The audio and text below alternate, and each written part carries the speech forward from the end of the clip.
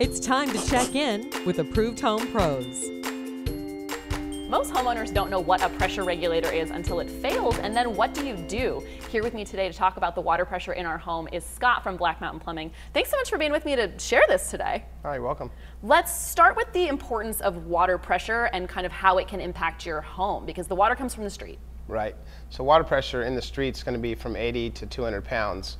You want to reduce that and keep it at 55 to 65 pounds before, when it comes into your house. When it comes into our house, and we're talking showers, sinks, everything that's water usage in our home. But what happens if the water pressure coming into our homes is higher than that recommended number? So anything above 80 pounds, um, code requires a regulator.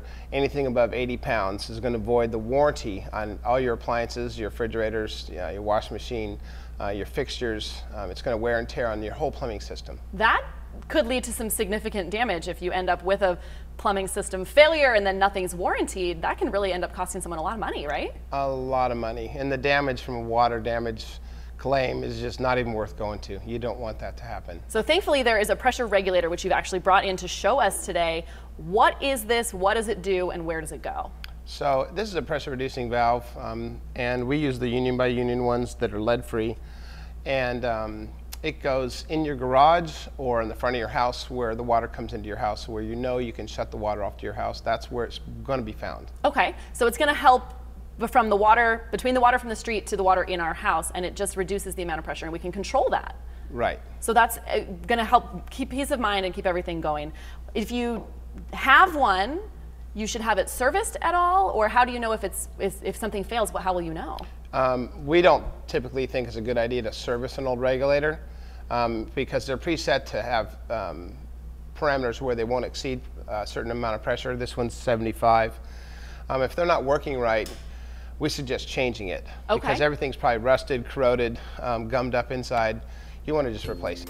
Thanks so much, Scott. Avoid major problems with your plumbing system and fixtures by monitoring your water pressure, and rest assured that you can always call Black Mountain Plumbing if you have a problem. Give them a call today at 619-399-2203.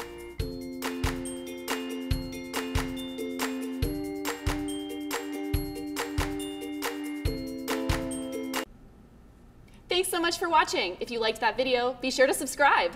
You'll have full access to see all our videos. From quick tips to full episodes, it's all at your disposal. That's right. You'll get great information for all your home improvement projects, but even better, you'll have contact information on hand when you need some help. All the trusted pros in the network are great resources to have. So hit the subscribe button below and check out more videos.